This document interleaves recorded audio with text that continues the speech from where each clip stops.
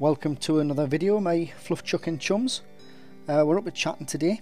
Uh, the forecast is pretty good. It looks very still at the moment, as you can see, but uh, it is forecast to become a little bit more breezy later, which is exactly what we want.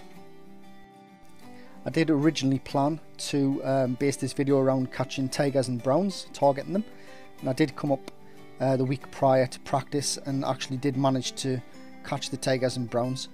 Um, unfortunately, I'll give you a heads up on this video. I didn't manage to catch tigers and browns, so I, I will show you a photograph of the uh, fish I caught last week. Both fish were caught on black snakes, fish deep and slow, which is normally a very good tactic if you want to pick yourself up some browns or tigers if the lake has them stocked there. So, there's been a lot of rainfall in Northumberland. Um, the banks are very muddy and the water is quite dirty as well, uh, pretty much chocolatey. Uh, you can't see it on the, the video there, unfortunately.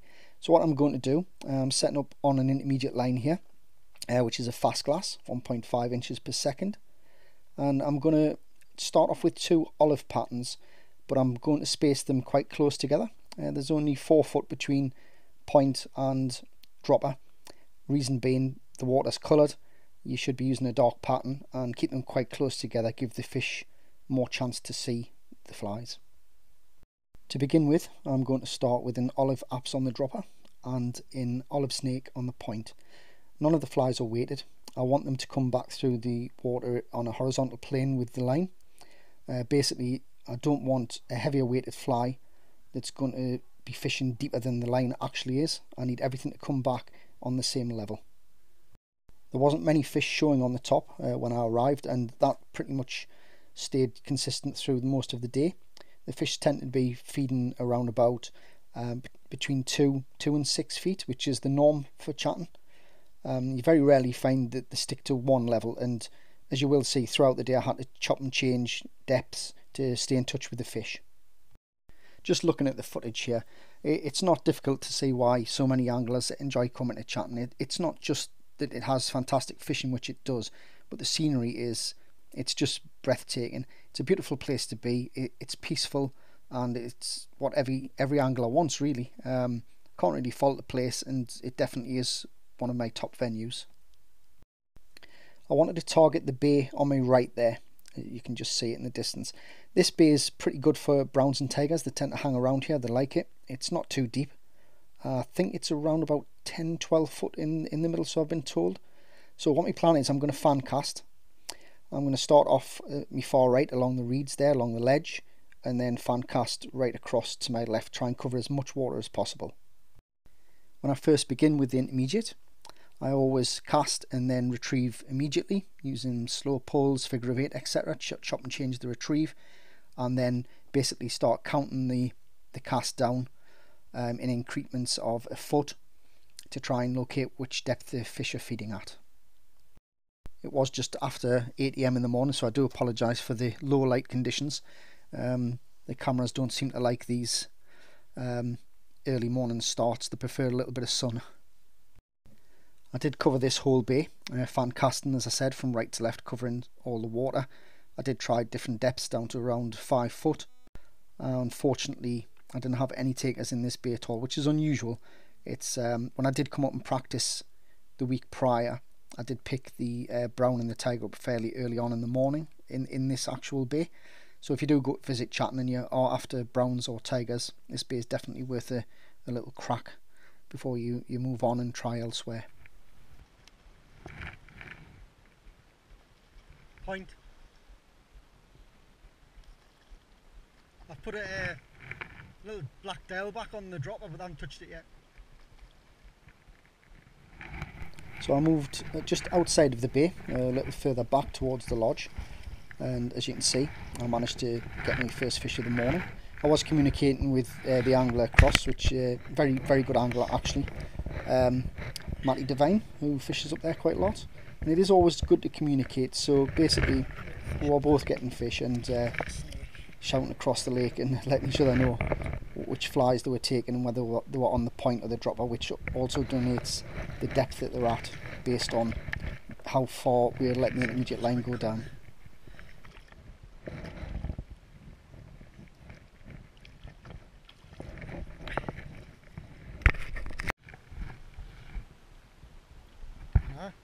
Slow the day. I'm slow the day. Took the uh, to the dropper. So the method seemed to be working with the intermediate. Uh, fish started coming to the net. I was using black patterns. Uh, I'd switched to a black snake on the point and a black Diawl Bach on the dropper, which I then changed to a black pulling buzzer, just to add a little bit of movement to that point fly. It did seem to work, and fish were picking out both patterns. At this point in the morning, the fish were surprisingly high. Uh, there was a lovely, lovely ripple come on, as you can see. Uh, unfortunately, coming from my right, which isn't ideal, but it was was bearable. Um, so I wasn't counting down with the intermediate. I was just casting and then uh, retrieving and losing fish, as you can see. Over that ledge again. Same place every time.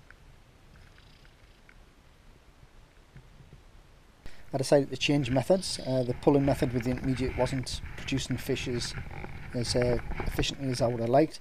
So I changed over to the, the bung with a static blob um, and fished over my little favourite spot just over the ledge. Basically there's a drop off um, around about I think to something like 7 8 foot from the edge here there's a drop off pretty much a rod length uh, just dropping it over the ledge and fish picked it up straight away.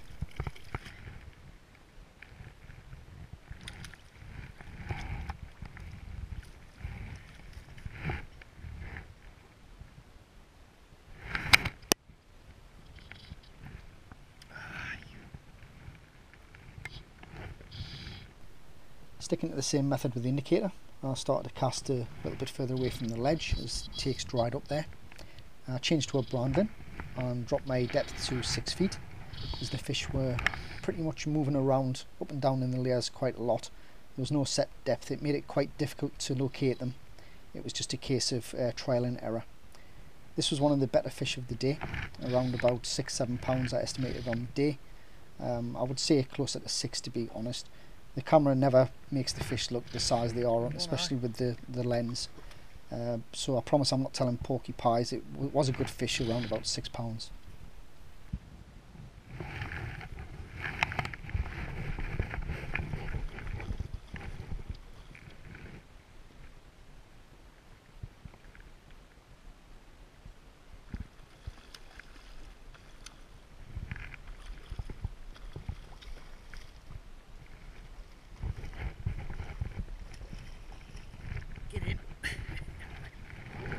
Fish run.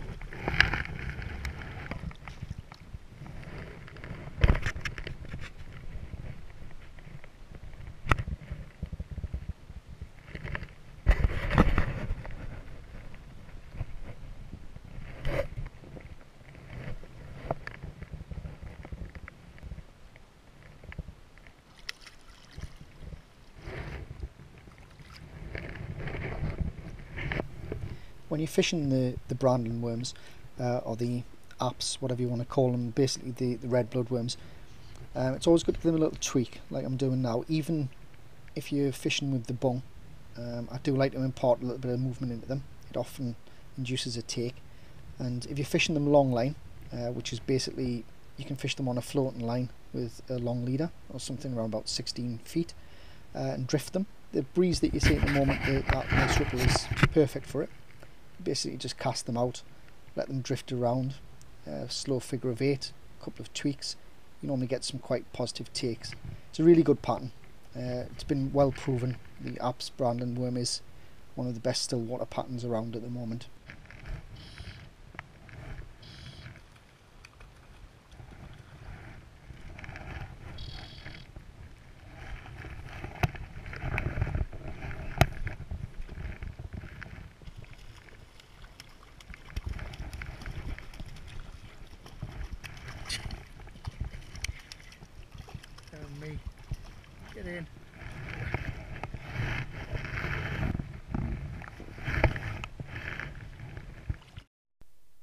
Just give you a little look at how muddy the bankside actually was. Um, been a lot of anglers on the bank, obviously with the rainfall. It didn't help, it was super muddy. I think it'll probably take me about a month to get the mud out of my reels. Mud aside, the fishing was again fantastic here. Um, you had to work you had to find the depth, um, find out where the fish were feeding, uh, adjust, change change everything to suit. It wasn't a case of sticking to one depth all day. The the fish really were indecisive. They were up and down in the layers. But as I say again, there's no better place to be. It, beautiful day. Uh, fish were in a in a fighting mood. They were interested in looking at the flies. You can't really ask for more than that.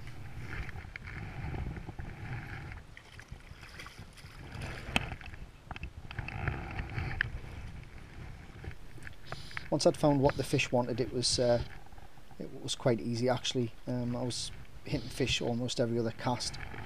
The conditions were pretty good, apart from that sun, a little bit bright, but it's pushing the fish down a little bit, but they were still sitting at around about four to six feet. I would say that was probably the most consistent level. Uh, more, more so four foot, I would say. The fish were definitely cruising around at that depth.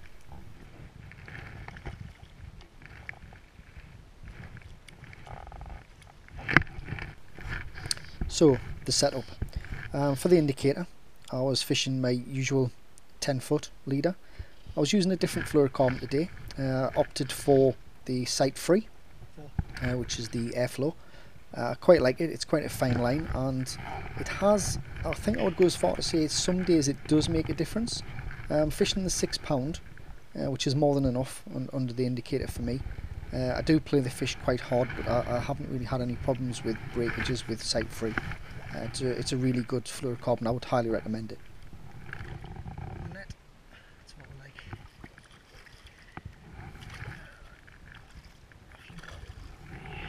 Fish started to come thick and fast. I had raised um, the fly up to four feet and they seemed to be taking it quite confidently. Uh, basically almost every cast I was getting a take or actually hooking into a fish. Did miss quite a few, but that was basically down to my bad angling on the day and being too keen to set the hook. An important thing to consider here is if you look at the the water there, uh, it's a, it's a lovely ripple. It's probably perfect actually for for the bung. If you're fishing the apps or any fly with movement, a shimmy, chamois, anything like that, anything with legs, this type of condition is absolutely perfect for it. It's something worth taking note on.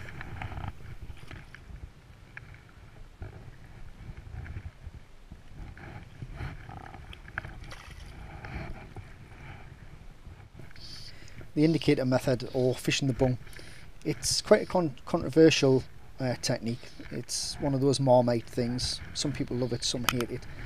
But I have to say from experience, and I have fished 30 years, that some days it's absolutely deadly and it can catch a fish when no other method will. You can chop and change, you could choose to not fish a bung and just fish a long line and grease up the end of the fly line. But I find that takes are to spot that way. Um, but it is it is personal choice. I never judge anybody for using any method. If it catches your fish, excellent. Uh, I'm happy for anybody who can go out, catch fish and enjoy themselves, or you can just go out and fish, not catch and still enjoy themselves. It's what fishing's all about. We need to go out and enjoy what we do.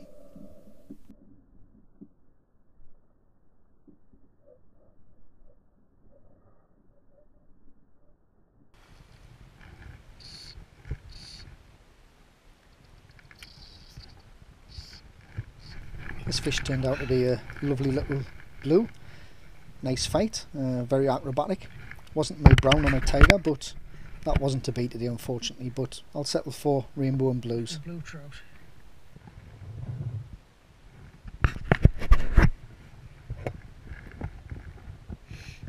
Lovely fish that.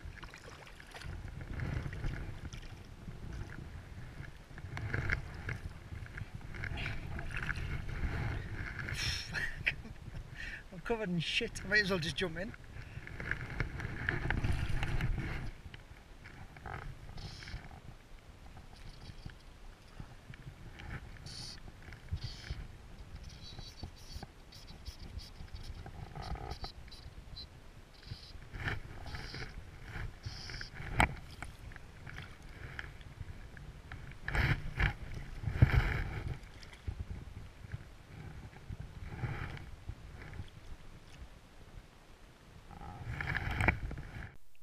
By now it was late afternoon. I decided to go back onto the fast glass with the black snake on the point and the black pull and buzzer on the, the dropper.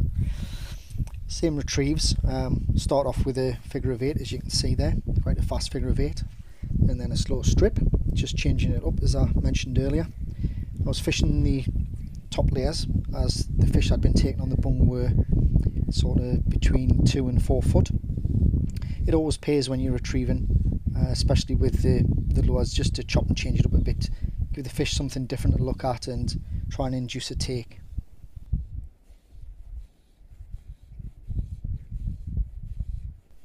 The reason that I am uh, retrieving it quite quickly is because I do want to be in those top layers.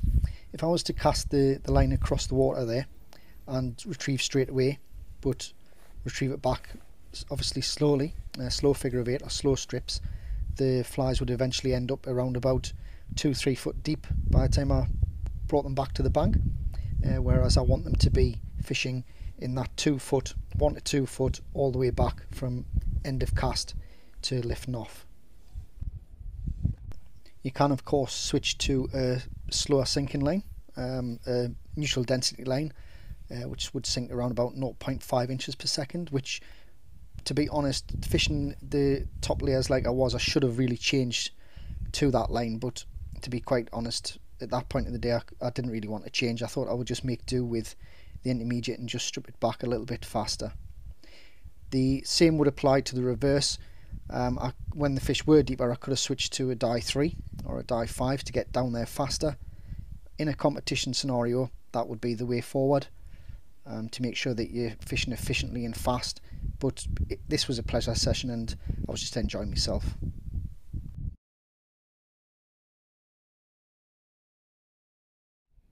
When you're fishing the lures and you do get a take, try not to uh, strike too hard. I do often see anglers ripping the fish's head off basically uh, within the immediate line all you really need to do is keep the retrieve going and gently lift as you'll see me doing right now.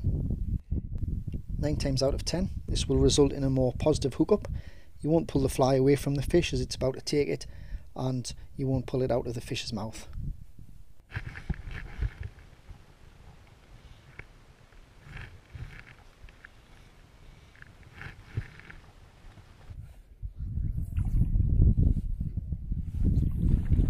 when the fish is played out and it's ready for the net don't forget uh, keep your rod nice and high like so keep the rod nice and high nice bit of tension and just gently slide the net underneath the fish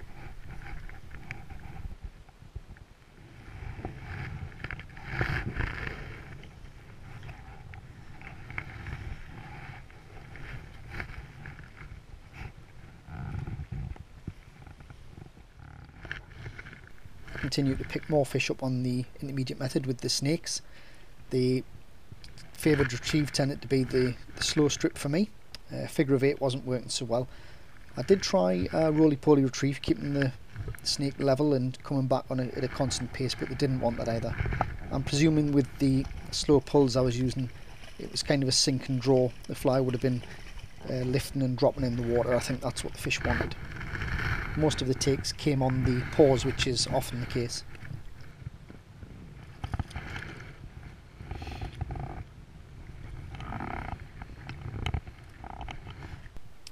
At this point I would just like to say thank you to everybody who has subscribed to the channel. It does mean a lot. Um, it's nice to know that people are actually interested in me fishing escapades uh, and I do believe as anglers we should all help each other and I hope that some of the information that I've given you in this video and the previous videos has been helpful. Um, I am quite an approachable person so if you do need anything, uh, any questions answered or anything I can help with please put it in the comments section and I will get back to you. I have had some comments regarding the music on the videos. Uh, some people seem to find it annoying. Uh, I do apologise if that is the case but being a musician myself I, I do have an interest in music and I like to mix a little bit of music in with my fishing and I also find it adds a little bit of atmosphere. I have taken the comments on board and on this video I have kept the music to a minimum and tried to put more information and narration into it. Let me know your thoughts guys, that's what the comment section's for. If there's anything that you would like me to try and cover or anything that you would like to see on the channel, please just let me know. Well, this was the last fish of the day. Had a very enjoyable time. Had fish pretty much consistently all through the session, which was very nice. The most successful fly patterns were the black snake, the Brandlin bloodworm, a pulling buzzer, and um, various blobs. All the flies that I use are all my own. I don't fish with anybody else's, and that's not because I, I'm a snob of any way. It's just I do prefer to tie my own flies. I get satisfaction out of catching from patterns that I've tied myself. The successful methods were the intermediate, the fast glass, sinking at 1.5 inches per second. I was fishing that between 2 and 4 feet. And the other method was the bung, uh, fished at 4 to 6 feet depth, which was pretty successful. Most of the fish came to the static method. I would say probably about 40% of the fish came to the intermediate with the lures. The best fly pattern on the day was the red Brandlin bloodworm. Um, very consistent pattern and I would be more than happy to go out and fish a session with just a box of those. I think I'd be quite confident that I would catch fish. Well, once again my fluff chuck and chums, thank you very much for watching the video and if you subscribe to the channel that's absolutely brilliant. Thank you very much, I really do appreciate it. I do hope that the video has given you something to take away to put into practice at the bankside when you're on one of your fishing sessions. And all that remains is for me to say I hope you have a very Merry Christmas and Happy New Year. If I don't uh, put another video up this year, uh, we will be doing some great stuff next year. But thank you very much. I really appreciate your support and tight lines.